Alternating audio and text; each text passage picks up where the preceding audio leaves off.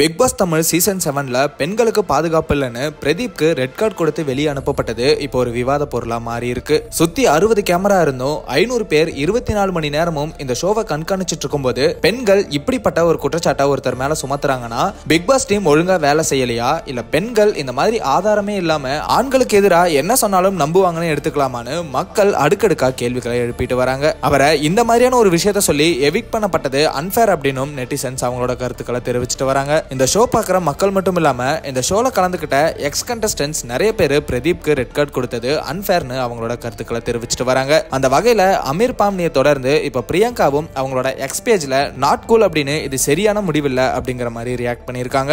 இவங்களை தொடர்ந்து நிரூபம் உங்களை இந்த ஷோலேருந்து வெளியேற்றணும்னா இதுதான் ஒரே கொடூரமான மற்றும் நியாயமற்ற வழி. இது அன்ஃபேர் இந்த மாதிரி வழிகளில் தான் உங்களை அவங்களால வெளியே அனுப்ப முடியும் அப்படிங்கிற மாதிரி சொல்லியிருக்காரு. அவங்க மட்டும் இல்லாமல் நிவாஷ்னி ராமனி எல்லாருமே இதுக்கு ரியாக்ட் பண்ணியிருக்காங்க.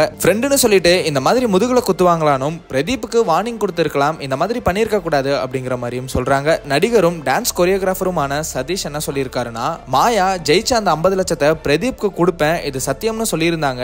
இல்லை எனக்கு புரியல. கமல் சார் ஜோவிகாவை எவிக் பண்ணி ஸ்ட்ரைட்டாக அவங்கள ஸ்கூலுக்கு அனுப்பணும். பிரதீப் அவரோட பயணத்தில் வெற்றி அடையணும். இது ஜஸ்ட் பிக் பாஸ் தான். நிறைய விஷயங்கள் உங்களுக்காக காத்துட்டு இருக்கு பாஸ்னு. அவரோட கருத்தை தெரிவிச்சிருக்காரு. பிரதீப்பும் வெளியே வந்து இதுதான் என்னோட பிபி செவன் ட்ராஃபின்னு அவர் வாங்கின ரெட் கார்டு ஃபோட்டோவை ஷேர் பண்ணி பண்ணியிருந்தாரு அப்படிங்கிறதும் குறிப்பிடத்தக்கது. பிரதீப்க்கு ரெட் கார்டு கொடுத்து வெளியே அனுப்பப்பட்டதை பத்தி நீங்க என்ன நினைக்கிறீங்க அப்படிங்கறத கமெண்ட்ல சொல்லுங்க. ஆனால் அந்த மாதிரி அப்டேட்ஸ்க்கு ட்ரெண்ட் ஆக்ஷனால சப்ஸ்கிரைப் பண்ணுங்க.